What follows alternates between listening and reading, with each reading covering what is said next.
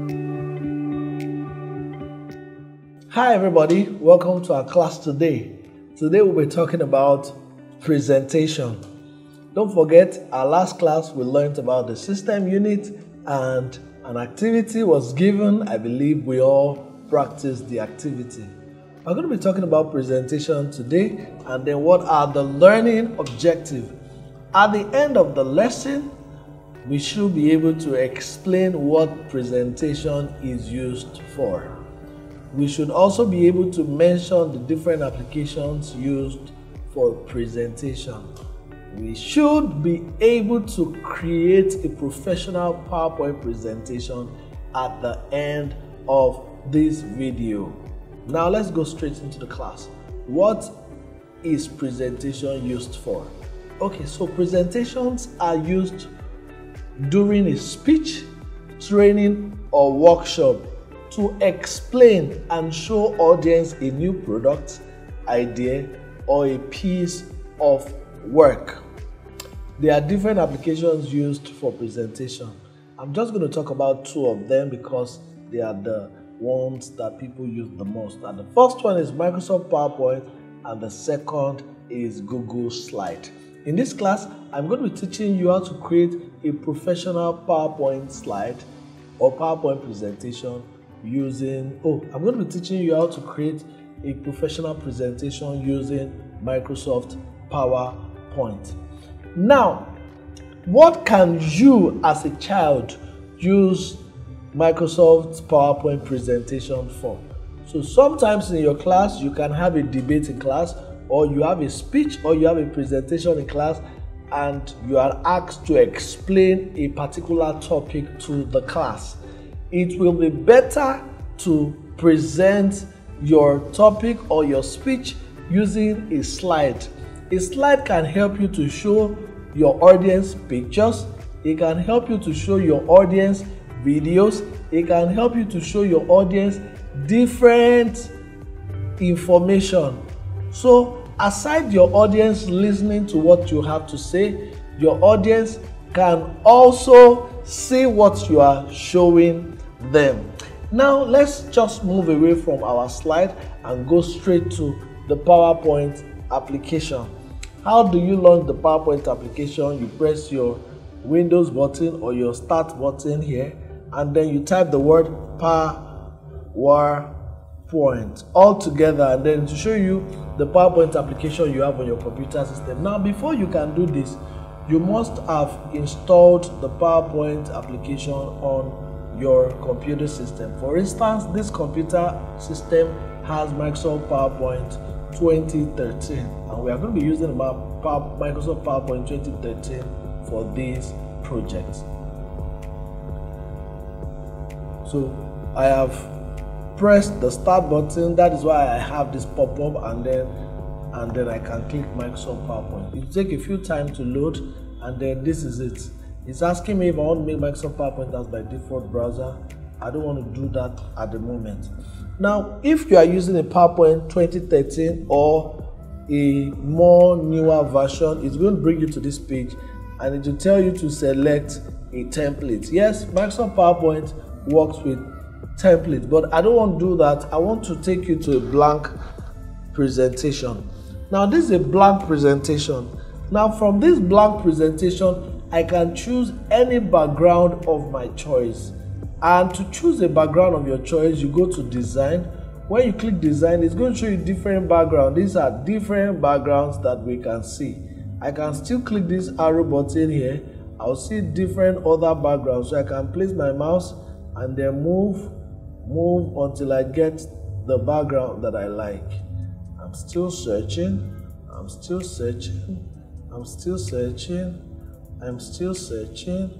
I'm still searching. So I think I like this background. I'll just select this background. So for Microsoft PowerPoint, you must use backgrounds because it makes your work more colorful and more interesting. So what are we going to be doing presentations on? So I need you to suggest, give me topics that we should talk about. Okay, so let's talk about different kinds of animals. So let's do a presentation on animals in the world. Now, if you want to do a PowerPoint present or any form of presentation, there are things you need to already have on your computer system. Now, because you would be working with pictures, you need to have pictures already downloaded to your computers. Or if your computer has internet connection, you can just switch to the your internet browser, get any picture that you want, and then copy to your slide and then keep designing. So this is my first slide. The first slide of any presentation is called the title slide. And usually what you will do on your title slide is to put the name of your presentation, the title of your presentation, put your name, and then if necessary, you put your class. So what I am doing right now, I want you to also follow through and do the same thing or you can watch this video after watching this video then you practice what you see me do so here i'm going to add my name i'll just say nathaniel adoy so i'm not in any class if you ask me which class i'll say i'm in adult class but i know most of you watching this video you are in either grade 3 or grade 4 so you can add your class to it. So I'm done with my first slide. Um, I might like to add images later or probably put image of an animal or put look for image that has the atlas. Since I'm talking about animals in the world, I can look for image that has a map of the world and then has like an animal on them or like that has animals on them. I can do that later. I can even do that now, but I want to just leave you here for now. Then the next thing is I would move to home home because I need a new slide then I will find new slide here always you would see new slide here and then all the slides have different layouts so this is the title slide just like you can see it only contains the title and the subtitle there's title and content title and content can help you to put the title and then it will also help you to put content. Now there's another slide. Let's look at another slide. We have the section header. So I'm going to try to use as many as possible layout so that we can see how it works. But for this second slide, I still want to use the title slide. Why I want to use the title slide because it can help me to type as many possible things that I want and it will make my write-up legible. So I would say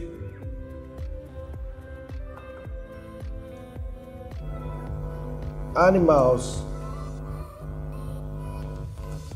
I'll say there are different kinds of animals. Full stop. Okay so excuse me children. I don't think I like to use the title slide I want to use the title and content so so here I'll just say there are different kinds of animals.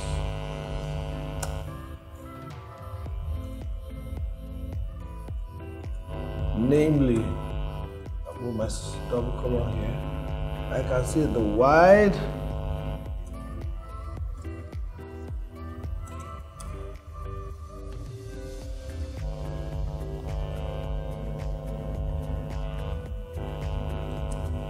the wild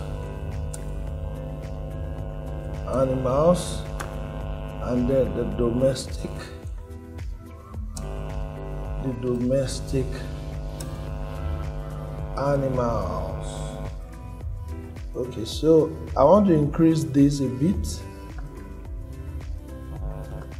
I'll just go to my font size here I'm sure you can do that already but If you can't, it's as simple as that. Just go to where you have numbers here and you can easily change the numbers. So we have the wild and the domestic animals.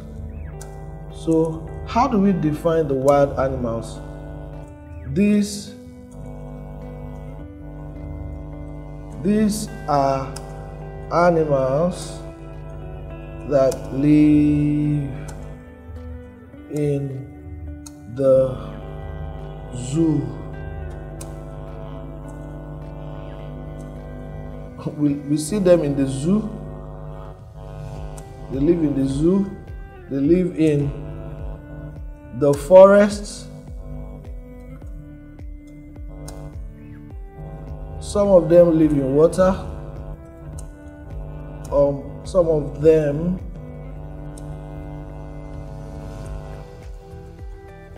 live in the oceans, right? Hope you enjoy this class. See you in the next video.